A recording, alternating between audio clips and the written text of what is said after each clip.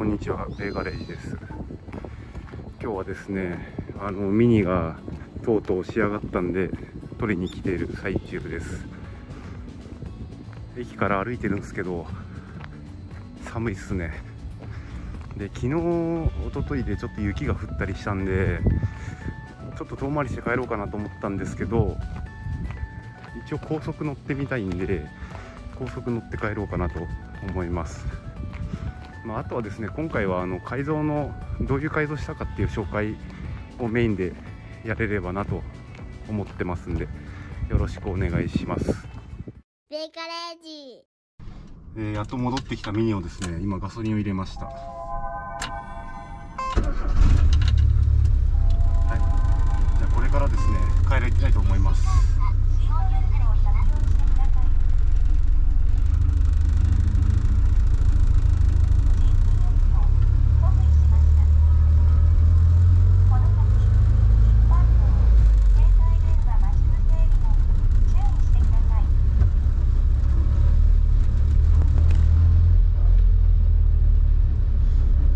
なんかパワーアップしたから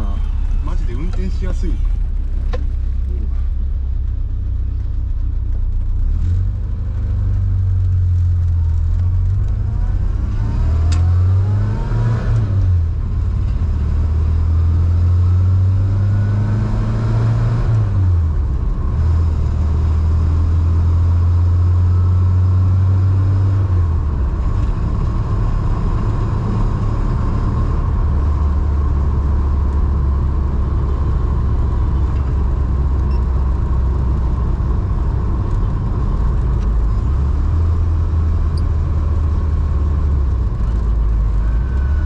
ベーカレージ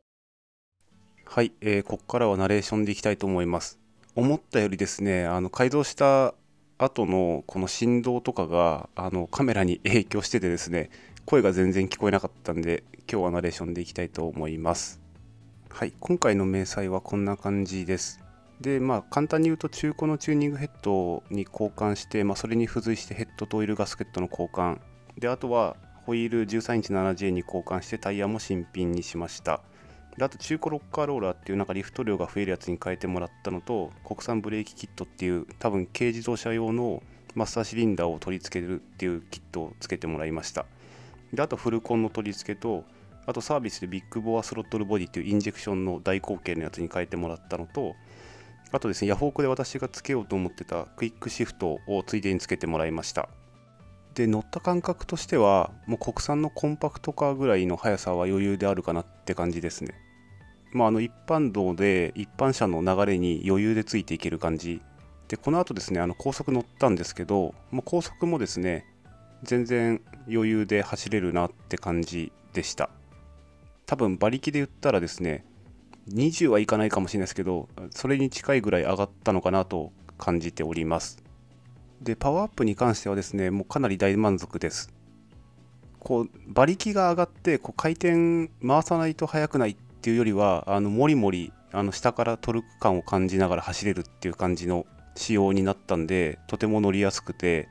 良かったなと思います。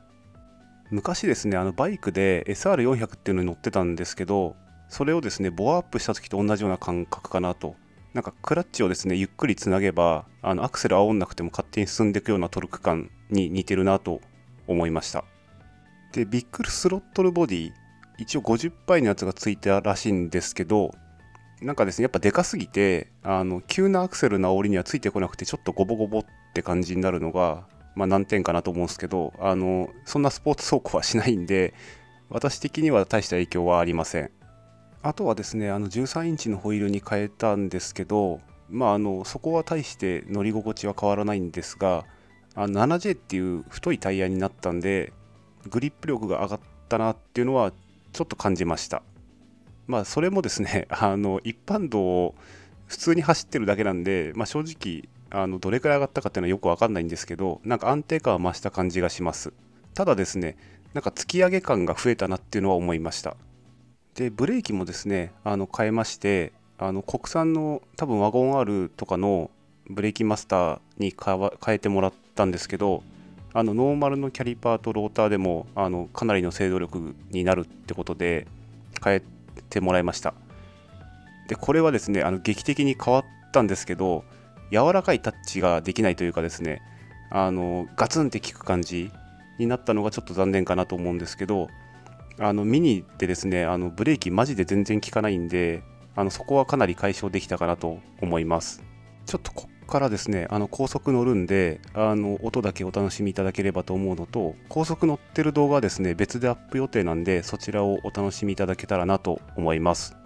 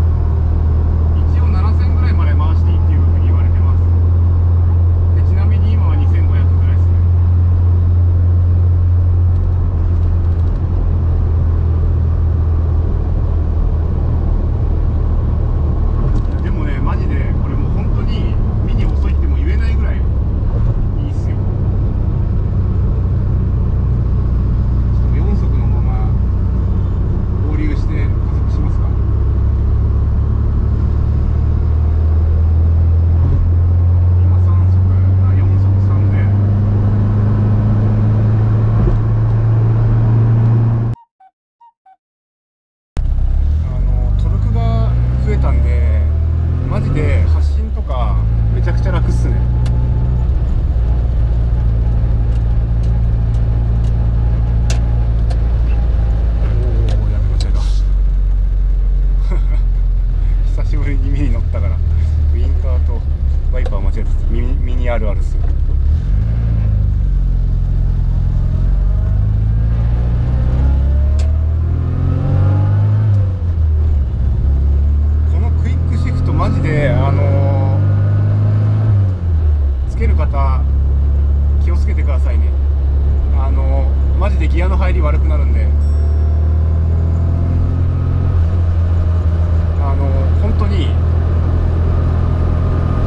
ンガクンって感じですね。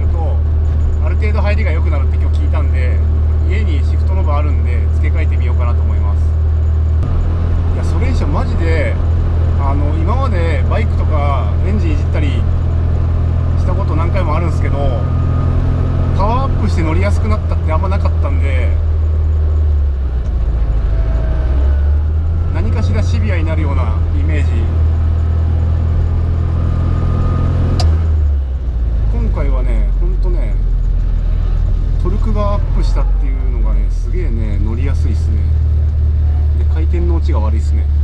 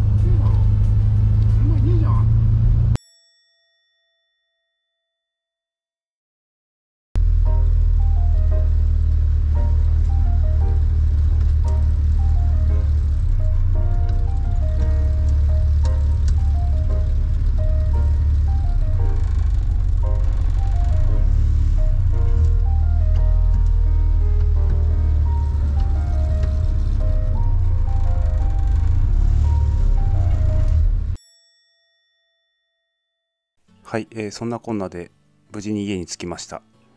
えっとですね改造点とかをあの説明しようと思ったんですけど動画が案外長くなっちゃったんであのそれは次回に持ち越そうかなと思います。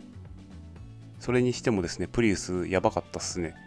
あのクラクション鳴らされまくってました。皆さんもですねあのもらい事故に気をつけてください。はい以上になります。ご視聴ありがとうございました。よければチャンネル登録いいねよろしくお願いします。